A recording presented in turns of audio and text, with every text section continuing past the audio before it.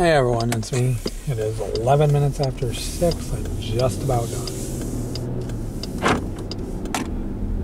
And I checked my phone before I left the house and it said we were not supposed to get rain. And then I decided it was going to start raining.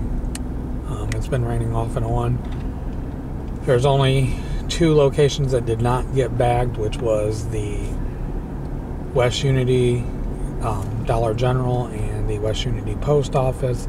But the West Unity Post Office, sh- the girl usually gets there at 5:30, and I got there at like five o'clock. So they wouldn't have been out there that long.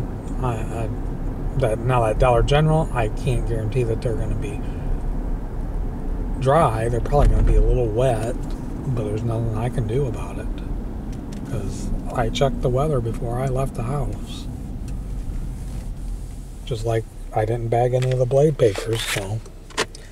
But I am going to stop it right here. Please like, please subscribe, and I'll talk to you guys soon. Have a good day. Bye.